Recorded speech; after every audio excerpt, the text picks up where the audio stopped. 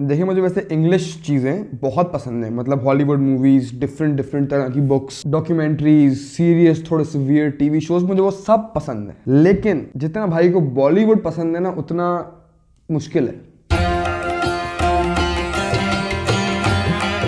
क्या हाल है ब्रो एक तो मुझे ऑब्वियसली बॉलीवुड की मूवीज़ जनरली बहुत पसंद है स्पेशली मैं शाहरुख खान का बहुत बड़ा फ़ैन हूँ। मतलब उसकी मूवी अगर टीवी पे आ रही हो ना शाहरुख खान की, और मैं उसको आगे बढ़ा दूँ, ऐसा हो नहीं सकता। सर सर नहीं हो पाएगा, सर। लेकिन मुझे सिर्फ़ बॉलीवुड की मूवीज़ नहीं पसंद। बॉलीवुड ने जनरली मेरी ज़िंदगी में काफ़ी एक एक इम्पैक्ट छोड़ा है। जो चीज़ें मुझे ज़िंदगी में करने का शौक है और जो चीज़ें मुझे नहीं करने का शौक है, उसमें भी कभी कभी बॉलीवुड मूवीज़ ने एक इन्फ्लुएंशियल पार्ट प्ले किया है। कभी कभी जो चीज़ मैं खाता हूँ, वो शायद मैंने किसी बॉलीवुड मूवी में किसी इंसान को किसी पर्टिकुलर चीज़ को किसी तरह खाते हुए देखा हो तो मुझे वो दिल चाह गया हो तो मैंने वो चीज़ पर खाई हो, ऐसा हुआ है मेरे साथ। मैं मेहंदियों में बॉलीवुड गानों में बहुत नाचा हूँ और मुझे बहुत मज़ा आता है मेहंदियों में नाचने में। तो एक तरह से बॉलीवुड ने यहाँ भी इम्पैक्ट क्रिएट किया जो मुझे करना पसंद है या जो मुझे करना नहीं पसंद है।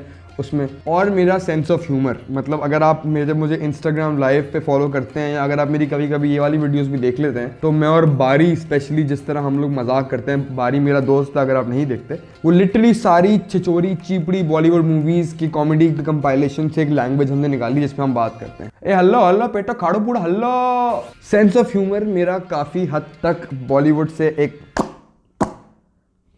क्या कर रहा हूँ?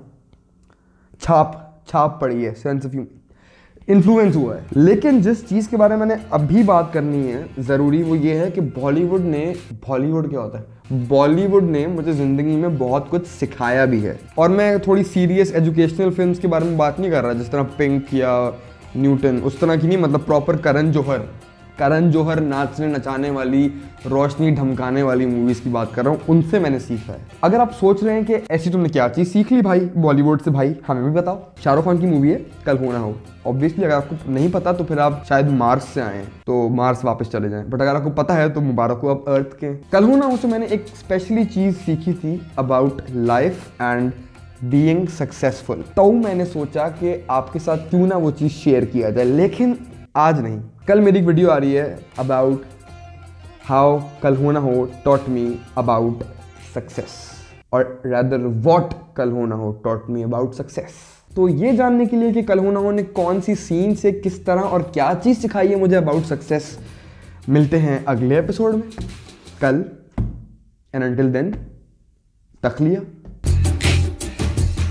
करो करो ना तुम सब्सक्राइब बैम बैम सब्सक्राइब करो करो, ना तुम सब्सक्राइब बहुत हो गया. ओवर नहीं हो गया थोड़ा सा?